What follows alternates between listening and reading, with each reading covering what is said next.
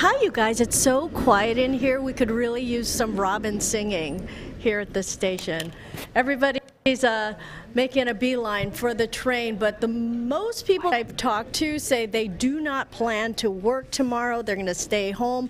Those who do have to venture out are urged to plot carefully to avoid prolonged exposure outside.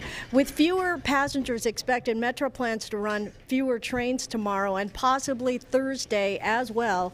The modified Metra schedule will cut the odds of mechanical problems due to the extreme cold and potential issues at switch points, which can happen despite Metra's warming systems. Extra staffing will be on duty to handle any track issues, and trains will have to run slower, so expect increased travel times.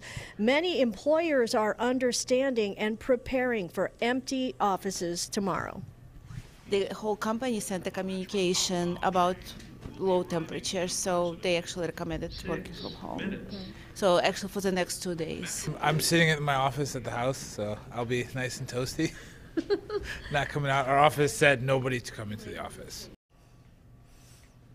So uh, just about everybody said they will not be working tomorrow. But then there's that one guy from Minnesota who says, no problem. He's planning to work tomorrow as usual. Um, and he said it's no big deal.